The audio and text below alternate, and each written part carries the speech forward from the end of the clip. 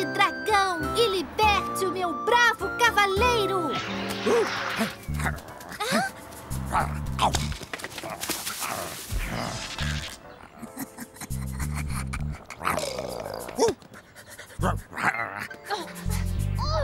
Mandou bem, Sultão.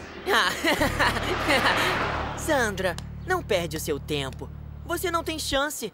Tenho certeza que vou ganhar de novo o concurso de vídeo da escola. É assim. Alguns mandam bem e outros mandam mal. Ah, some daqui, Marcos, agora! Oh, oh!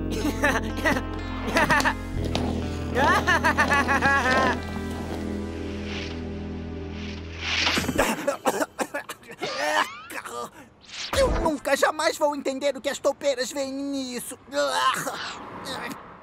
Nossa, uma nova invenção. Eu posso ver, Sandra? Eu posso ver, por favor, por favor. Não, Ai. é uma câmera de vídeo. Ela grava imagens. Uou! Olha!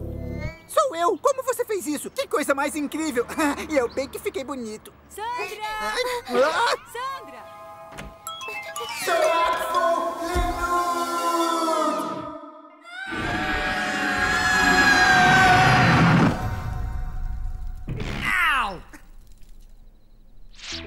500 anos percorrendo o túnel do caos e eu sei aterrissar, eu sei! Preciso disso tanto quanto um galo na cabeça. Ai!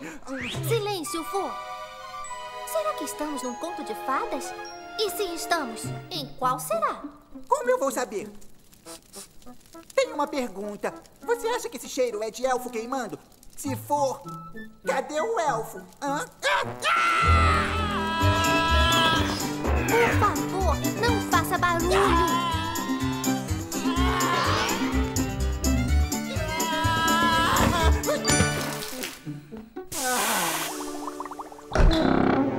está aí? Que barulho é esse? Me desculpe, senhor. Sandra ou Tippert, a detetive encantada. Ele é o meu assistente, vô. Muito bem, muito bem. Eu sou o Gepeto. Gepeto. Então estamos na história do Pinóquio, a do boneco que fala mentira e aí o nariz dele cresce sem parar. Nossa! Ah, ah, então, qual é o problema, senhor Gepeto? Não sei o que aconteceu, é verdade. O meu filho era um boneco de madeira, mas ele era cheio de vida. Ele brincava, corria, ria. Até que um dia, quando acordei, encontrei ele sem se mover, olhando para o teto. Chamei a fada azul, mas a magia dela não funcionou. Agora não sei o que fazer. Senhor, este boneco é feito de faia. Segundo os nossos arquivos, o senhor fez o Pinóquio com madeira de pinho. Senhor Gepeto, este boneco é uma imitação. Você tem razão. Então, cadê o Pinóquio? Acho que estamos na Itália no início do século XX. E se eu não me engano, um apresentador de marionete chamado Stromboli sequestrou Pinóquio uma vez. Vamos fazer uma visitinha pra ele. Olha só a quantia que eu ganhei hoje. Vocês acham que se eu tivesse um boneco igual ao Pinóquio, eu estaria nesta situação periclitante? Não! Eu estaria rico! Como você pode suspeitar de mim, detetive? não suspeitamos de ninguém, nós sabemos! Você é culpado, culpado, culpado! Inocente. Hã? Ele é inocente. Vamos embora. Senhor Stromboli, eu trouxe a sua peruca. Tadã! Que maravilha! Como é que ficou?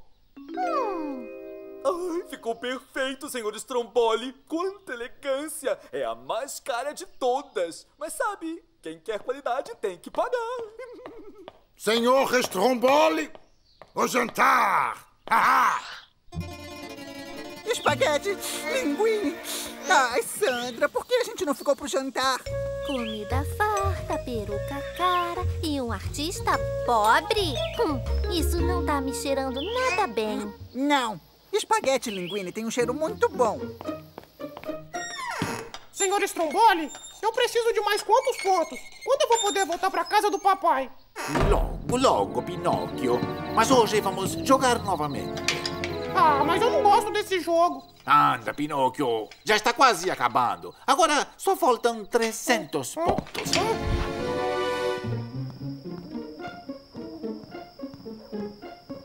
Pronto? o jogo vai começar. Tudo bem. 2 mais 2 é 23. Eu sou um gato verde. A capital da Itália é Paris. Os coelhos saltitam no mar. As sardinhas vivem nas montanhas e o sol é azul. Oh, oh, oh, oh.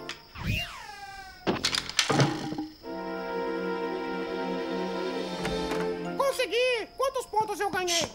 Agora não.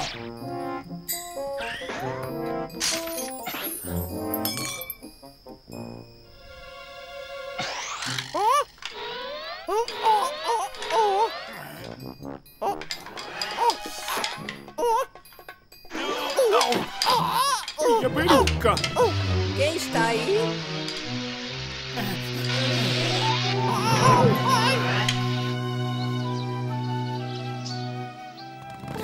Chegamos. Espero que o grilo falante possa ajudar. Sem dúvida, ele é o grilo que melhor conhece a história do Pinóquio. Fô, por favor, para de filmar. Só um pouquinho.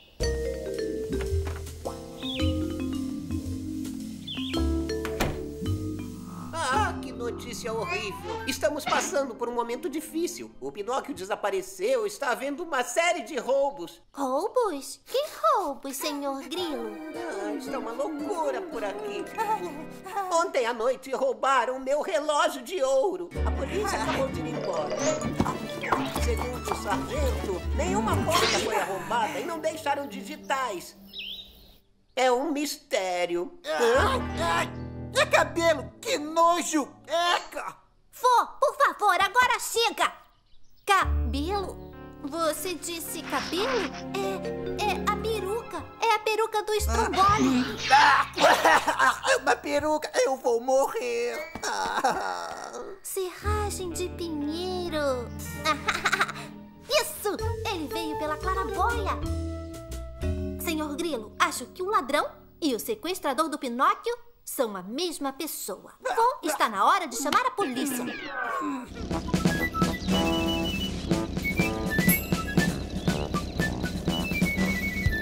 Não encontramos nada, sargento. Vasculhamos o local todo. Duas vezes. Ah, muito obrigado. Tem um roubo em andamento na região e você nos fez perder tempo brincando de pique-esconde aqui. Agora vamos. O Stromboli é o culpado. E eu vou provar.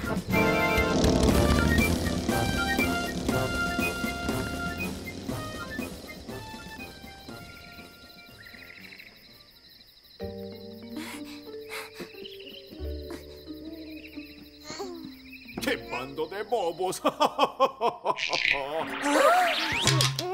O que aconteceu?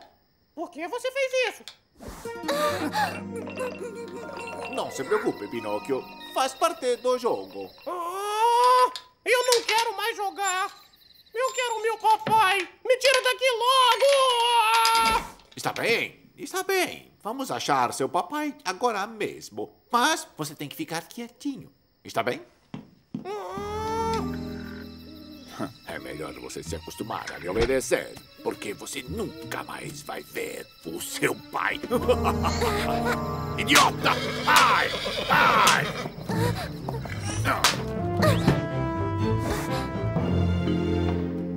Não tenha medo, Pinóquio. Estamos aqui para te ajudar.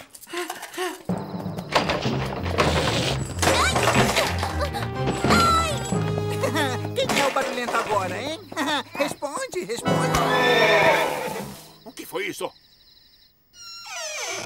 Voe para longe e leve o Pinóquio. Ah, detetive irritante. Solta ele, seu filho de doente! Solta! Doente, seu malvado! Stromboli, solta ele!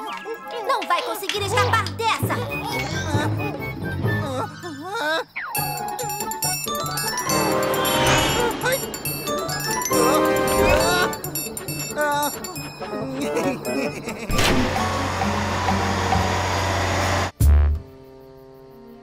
Arrivederci, detetive. Quando encontrarem você, Pinocchio e eu vamos estar muito longe daqui. É sério, eu sou um elfo. Eu nunca minto. Os tromboles está com Pinóquio. Já chega, vá embora daqui e deixe o sargento dormir em paz.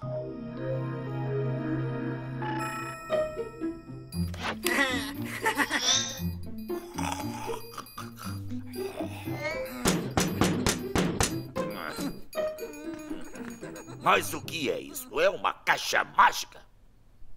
Eu não quero mais jogar! Daqui!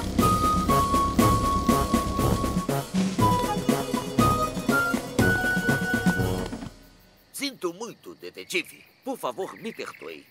Se não fosse aquela caixa mágica, aquela máquina que seu assistente técnico me mostrou, Tudo eu. bem, sargento. Agora temos que correr, senão vamos perder o Pinóquio pra sempre.